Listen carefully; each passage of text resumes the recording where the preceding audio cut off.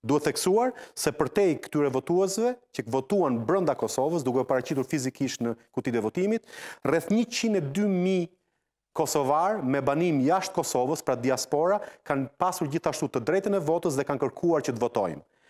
Ne nuk e dimë ende se sa prej tyre kanë votuar, por është e arsyeshme të besosh se shumica e tyre, pra shumica e 102.000 personave kanë votuar në këtë lloj zgjedhje. Kosova ju ka dhënë atyre të drejtën për të votuar nga vendbanimet e tyre përmes votimit me postë. Pra ata kanë votuar dhe kanë dërguar me postë votën e tyre për zgjedhjet e përgjithshme në Kosovë.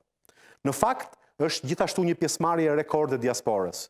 Numri i votave të diasporës ose të paktën i atyre që kanë shprehur interes për të votuar në zgjedhje është rritur në dy vitet e fundit, pra nga tetor, nga zgjedhjet e tetorit vitit 2019 deri në ato të vitit 2021, është rritur nga 35.000 në 102.000, pra është rritur më shumë se dy herë e gjysëm, që tregon që këto zgjedhje kanë pas një rëndësi të madhe për popullsinë e Kosovës, si brenda vendit, ashtu edhe jashtë saj, duke shënuar një pjesëmarrje rekord.